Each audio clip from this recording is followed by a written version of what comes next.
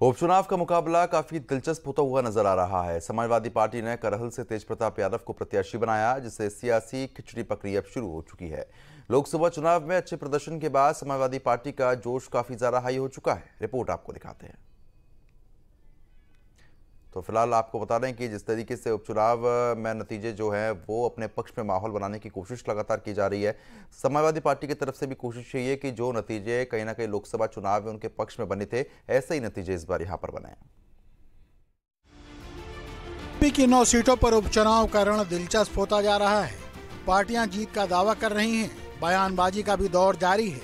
सभी जीत की हुंकार भर रहे हैं। करहल सीट से समाजवादी पार्टी ने तेज प्रताप यादव को मैदान में क्या उतारा कि उपचुनाव में सियासी खिचड़ी पकनी शुरू हो गई। खेल हम लोग का घर है और हमेशा यहीं रहते हैं।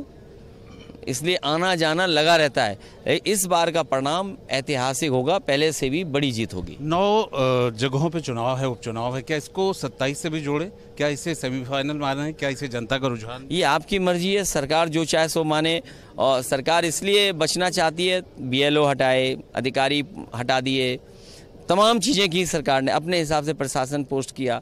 लेकिन इस चीज़ों का होता कुछ नहीं है। जनता अंतोगता तय करती है। उपचुनाव के रण में करहल सीट पर सत्ता और विपक्ष दोनों का ज़ोर है। ऊपरी लोकसभा सीट की सांसद डिम्पल यादव उपचुनाव में समाजवादी पार्टी का परचम लहराने का दावा कर रही हैं।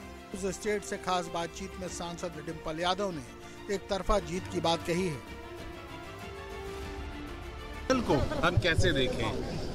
जो चुनाव है मैं आसान जीत है या फिर कुछ टफ है कंपटीशन नहीं नहीं कंपटीशन तो नहीं है और पूरी पार्टी और संगठन मैं समझती हूँ करहल के लिए लड़ेगा और हम जानते हैं कि हम जीतेंगे लेकिन हम ज़्यादा से ज़्यादा यह कोशिश करेंगे कि हम ज़्यादा से ज़्यादा वोट पा सकें। एक सवाल अखिलेश जी भी कह रहे थे कि क्या बहराइच का दंगा चुनाव और इन सब चीज़ों को माहौल को कहीं ना कहीं अपने फेवर आप पूरे इलेक्शंस की क्रोनोलॉजी देखेंगे ये इलेक्शंस की और पहले भी इलेक्शंस की तो कोई ना कोई इस तरह की घटना को अंजाम दिया गया है जिससे कि वोट बैंक का पोलराइजेशन हो सके। और लेकिन जिस तरह के नतीजे इस बार लोकसभा के रहे हैं और जिस तरह के नतीजे इस बार विधानसभा में आएँगे तो मैं समझती हूँ और भी क्लियर पिक्चर पूरे देश और प्रदेश के सामने आएगी। लोकसभा चुनाव में जीत हासिल करने के बाद समाजवादी पार्टी करहल सीट को नाक का सवाल मान रही है। लिहाजा जीत की आजमाइश भी जोरों पर है। पहल के अपना ही एक कहीं ना कहीं चुनावी इतिहास है राजनीतिक इतिहास है। अनिल यादव हमारे साथ हैं। पूर्व विधायक करहल रह चुके हैं। करहल में क्या माहौल है? किस तरीके से? समाजवादी पार्टी के अलावा करहल में किसी का कुछ नहीं है। ये जितने भी यहाँ चक्कर काट रहे हैं बीजेपी के लोग इनके कहने से कोई वोट नहीं देगा और अगर ये गाँव में जाएँगे तो पिटेंगे और सही बात तो ये है। किस बात के लिए पिटेंगे? इसलिए पिटेंगे कि इन्होंने कोई काम ही नहीं किया है।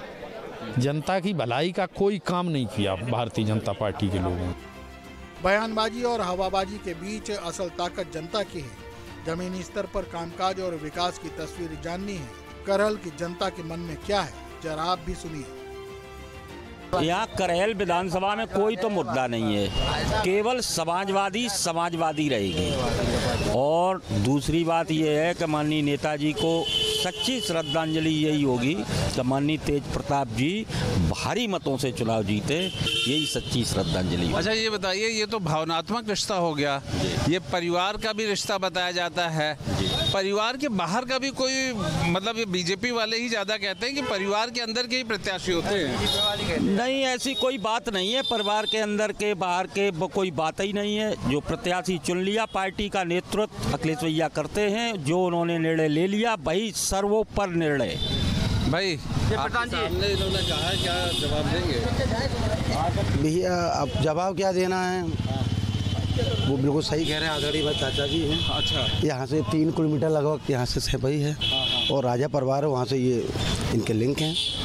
हाँ। में तो जाएगा ही फिर जब तुम काम ही नहीं करा रहे।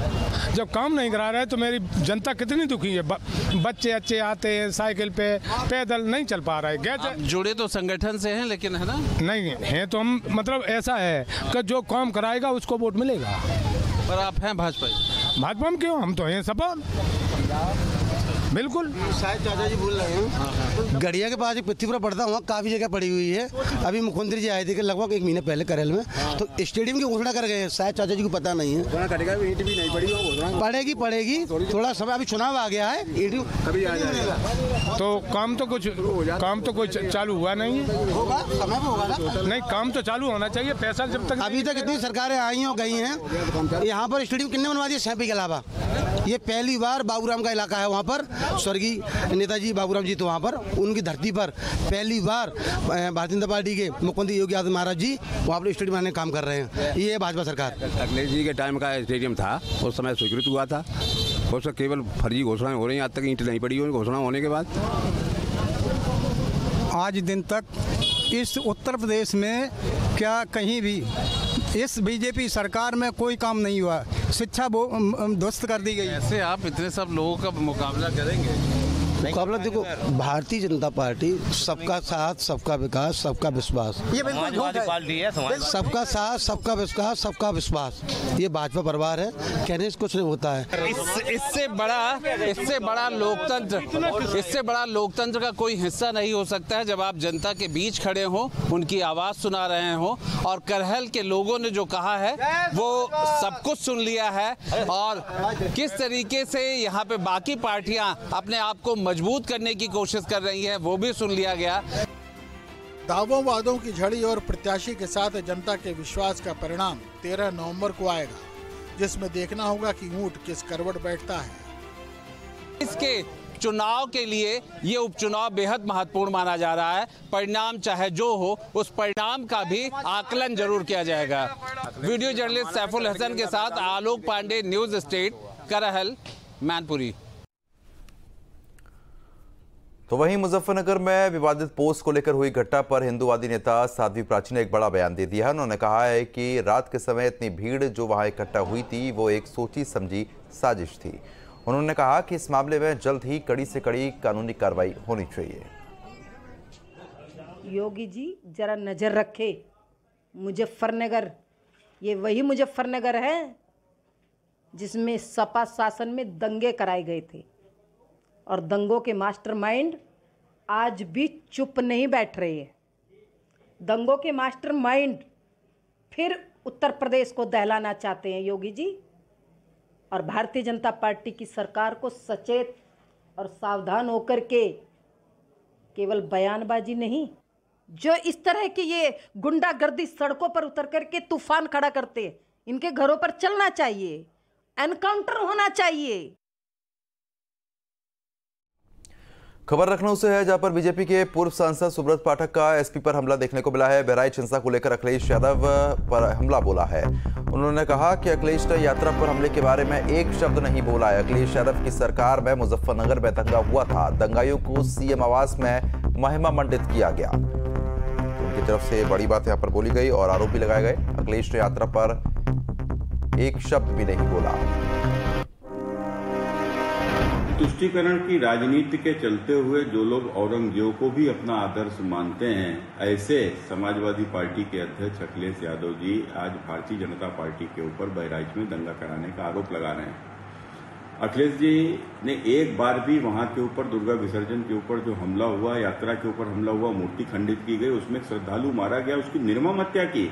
अखिलेश जी ने एक बार भी इसकी निंदा नहीं की। यारो वह लगा रहे हैं जिनके समय पर मुजफ्फरनगर में जब दंगा हुआ था तो दंगाइयों को स्टेट प्लेन से बुलाकर महिमा मंडित मुख्यमंत्री आवास पर किया गया था।